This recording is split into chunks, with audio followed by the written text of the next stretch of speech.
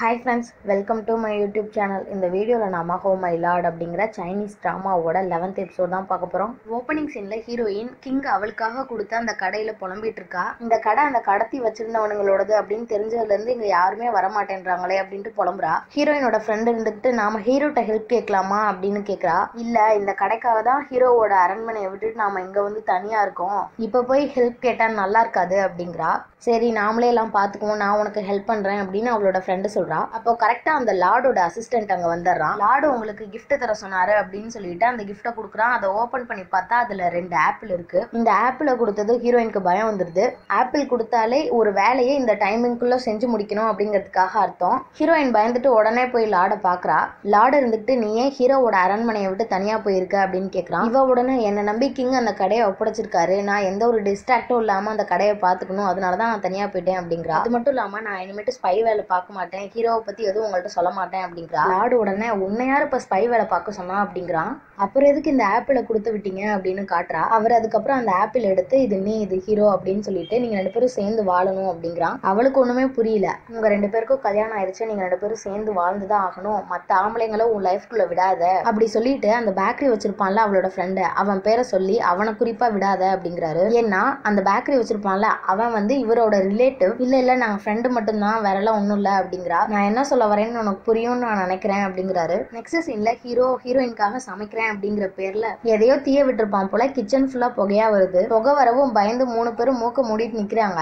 நல்லா தீஞ்சு போச்சு போல சமைச்சு கொண்டு வந்து அதை ஹீரோயின்ட்ட கொடுக்குறான். அவ்வளோ வேற வழி இல்லாமல் சாப்பிட்றான் சீனில் ஹீரோயின் இப்போ இருக்க வீட்டுக்கு அவளோட ஃப்ரெண்ட் இருக்கான்ல அவன் வரான். ஹீரோ அவன் கொடுத்த அந்த பூச்செடியெல்லாம் எடுத்துட்டு அவன் காய்கறி செடி வெஜிடபிள் செடி எல்லாம் வச்சிருப்பான். அதை பார்த்ததும் அந்த ஃப்ரெண்டுக்கு கோவம் வந்துருது. ரெண்டு பேரும் மாத்தி மாத்தி சண்டை போட்டுக்கிறாங்க. இந்த செடி தான் வைக்கணும் இந்த செடி தான் வைக்கணும் அப்படின்ட்டு. ஹீரோயின் அப்புறம் அங்கே வந்து ரெண்டு பேரையும் சமாதானப்படுத்துறா. எல்லாரும் கொஞ்சம் அமைதியா இருங்க அப்படின்ட்டு. நெக்ஸ்ட் சீன்ல ஹீரோயின் கூட ஃப்ரெண்டும் சரி ஹீரோவும் சரி கடைக்கு போறாங்க. இதை வாங்க நல்லா இருக்கும்னு ஹீரோ ஒன்னு கொடுக்குறான். இல்ல இல்ல அது நல்லா இருக்காது இதுதான் நல்லா இருக்கும் அப்படின்னு சொல்லிட்டு ஃப்ரெண்டு இன்னொன்னு கொடுக்குறான். எந்த கடைக்கு போனாலும் இவங்க ரெண்டு பேரும் இப்படிதான் பண்ணிட்டு இருக்காங்க. இவ கடுப்பாகி உங்க ரெண்டு பேர் கூட கடைக்கு மட்டும் நான் வரமாட்டேன். உங்க கூட வந்தா எதுவுமே நான் வாங்க மாட்டேன். வாங்க வீட்டுக்கு போலாம் அப்படின்னு சொல்லிட்டு அப்புறம் வீட்டுக்கு போறாங்க. குட் நைட் அப்படின்ட்டு உள்ள போயிடுறா. ஹீரோ ஃப்ரெண்டை பார்த்து நீ ஃபர்ஸ்ட் போ நான் அப்புறம் போறேன் அப்படிங்கிறான். அதுக்கப்புறம் ஃப்ரெண்ட் இருந்துட்டு இல்ல இல்ல நீ முத போ நான் அப்புறம் போறேன் அப்படிங்கிறான். ரெண்டு பேரும் சொல்லி அங்க இருந்து ஒரு வழியா போயிடுறாங்க. ஹீரோ அப்புறம் பின்வாசல் வழியா ஏறி குதிச்சு ஹீரோயினோட வீட்டுக்குள்ள போறான். ஏன் இப்போ இங்க வந்தீங்க? குட் நைட் தூங்க போங்க அப்படிங்கிறா. ஆல்ரெடி லேட் ஆச்சு. மழை வேற பெய்யற மாதிரி இருக்கு. நான் இங்கேயே தூங்கிக்கிறேன் அப்படிங்கிறான். ஐயோ மழை பெய்யுதா? என் ஃப்ரெண்டு எப்படி போயிருப்பான்னு தெரியலையே. அவன் கூட எடுத்துட்டு போனான்னு தெரியலையே. நான் போய் கொடுக்குறேன் அப்படின்னு சொல்லிட்டு அவ கிளம்புறா. ஹீரோ அவளை போக விடாம தடுக்கணும்னு ட்ரை பண்றா. அதுக்கப்புறம் வேற வழி இல்லாம ஹீரோ சொல்லிடுறான். மழை எல்லாம் ஒன்றும் பெய்யற மாதிரி இல்ல. நான் சும்மா தான் சொன்னேன் அப்படிங்கிறான். நான் போய் தூங்குறேன். எனக்கு தூக்கம் வருது அப்படின்னு சொல்லிட்டு ஹீரோ ஹீரோயினோட கட்டில போய் தூங்க போறான். இங்க ஒரு கட்டில் தான் இருக்கு. ரெண்டு பேர்லாம் படுக்க முடியாது அப்படின்னு இவ சொல்றா. ஹீரோவோட அசிஸ்டன்ட் இருந்துகிட்டு அவன் ஒரு கட்டில் எடுத்துட்டு வந்து இந்த மாதிரி நடக்கும்னு எனக்கு தெரியும். அதனால தான் நான் அரண்மனையில இருந்து இந்த கட்டில் எடுத்துட்டு வந்தேன் அப்படிங்கிறான். ஹீரோக்கு கொஞ்சம் கடுப்பாயிருது. என்னடா பண்ற? அப்படிங்கிற மாதிரி ரியாக்ட் பண்றான். அதுக்கப்புறம் ஹீரோயின்ட்ட எனக்கு அரண்மனையில கொஞ்சம் வேலை இருக்கு நான் போறேன் அப்படின்னு சொல்லிட்டு அவன் போறான். அந்த அசிஸ்டன்ட் இருந்துட்டு அந்த வேலையை இங்கேயே பார்க்கலாம்ல அப்படிங்கிறான். ஹீரோ உடனே அவனை அடிக்க போறான். ஒழுங்கா கிளம்புறீங்க இருந்து அப்படின்ட்டு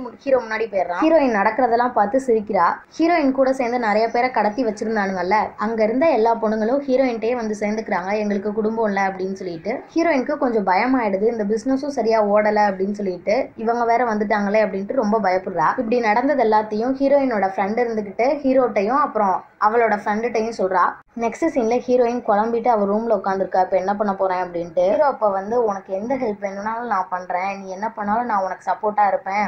இப்போ ரொம்ப கன்ஃபியூஷனில் இருக்க. இப்போ வா நாம் ஒரு வாக்கிங் போயிட்டு வரலாம் அப்படின்னு சொல்லிட்டு அவளை வெளியே கூட்டிகிட்டு போகிறான் இந்த இடம் தான் இந்த ஊர்லேயே ரொம்ப அழகான வியூ இருக்க இடம் அப்படின்னு சொல்லிட்டு ஒரு இடத்துக்கு கூட்டிகிட்டு போகிறான் ரெண்டு பேரும் உட்காந்து பேசிட்டு இருக்காங்க. இப்போ ஹீரோ கிஸ் பண்ணலாம் அப்படின்னு சொல்லிட்டு வர. அப்போ அவளுக்கு ஒரு ஐடியா தோணுது பிஸ்னஸ்க்கு டிஃப்ரெண்ட்டாக ஏதோ ஒரு நோட்டீஸ் கொடுக்குறா அந்த கடைக்காக. இந்த ஐடியாவும் சரியாக ஒர்க் ஆகல. அதுக்கப்புறம் ஹீரோயின் ரொம்ப குழம்பிட்டு இருக்கா. ஹீரோ இருந்துக்கிட்டு நாம தானே இந்த ஊர்லேயே ரொம்ப அழகான ஆள். நாம் அந்த ப்ராடக்ட்டை வாங்கினா எல்லாரும் வாங்குவாங்கல்ல அப்படின்னு சொல்லிட்டு அவள் கடைக்கு போகிறான் அங்கே போய் பார்த்தா ஹீரோக்கு முன்னாடியே அவளோட ஃப்ரெண்டு வாங்க ஆரம்பிச்சிடுறான். அதனால கும்பல் வந்துடுது ஹீரோக்கு கொஞ்சம் பொசசிவாக இருக்குது அதுக்கப்புறம் ஹீரோயின் வந்து எல்லாத்தையும் எக்ஸ்பிளைன் பண்ணுறா நீங்கள் நேச்சுரலாக இருக்கணும்னு நினைப்பீங்க. இந்த மாதிரி பியூட்டி ப்ராடக்ட்லாம் நீங்கள் யூஸ் பண்ண மாட்டீங்க. அதனால தான் நான் அவன்கிட்ட ஹெல்ப் கேட்டேன் அப்படிங்கிறா. கோவமாக இருக்கீங்களா அப்படின்னு கேட்குறா அதெல்லாம் ஒரு கோவமும் இல்லை அப்படிங்கிறா. அப்புறம் ரெண்டு பேரும் கொஞ்சம் சிரிச்சு நார்மலாக பேசிக்கிறாங்க. நெக்ஸ்ட் சீனில் ஹீரோயினோட ஃப்ரெண்ட் இருந்துகிட்டு ஹீரோயினை பற்றியே நினச்சிக்கிட்டு இருக்கான். அவன் அவளை லவ் பண்ணுறான் போல. இதோட இந்த எபிசோட் முடியுது. இந்த வீடியோ உங்களுக்கு பிடிச்சிருந்தா லைக் பண்ணுங்க கமெண்ட் பண்ணுங்கள் சப்ஸ்கிரைப் பண்ணுங்க. தேங்க்யூ ஃபார் வாட்சிங் திஸ் வீடியோ